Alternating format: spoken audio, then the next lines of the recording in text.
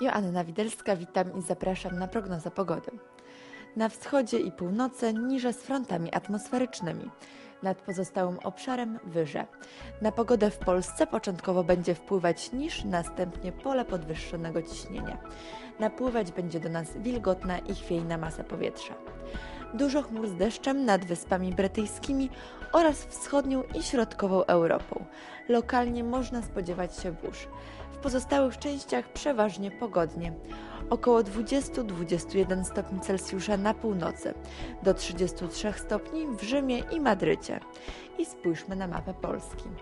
Na Pomorzu i Zachodzie zachmurzenie umiarkowane i duże. W pozostałych regionach zdecydowanie więcej chmur.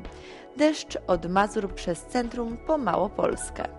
Mogą wystąpić lokalne burze. Zjawiska miejscami będą dość intensywne. Od 16 do 19 stopni w centrum. Najcieplej na wschodzie od 24 do 26 stopni w Lublinie i Białymstoku. Powieje słaby i umiarkowany podczas burz silny i porywisty wiatr z zachodu. Ciśnienie wzrośnie i wyniesie 1016 hektopaskali. I już teraz przegląd regionów. Zapraszam.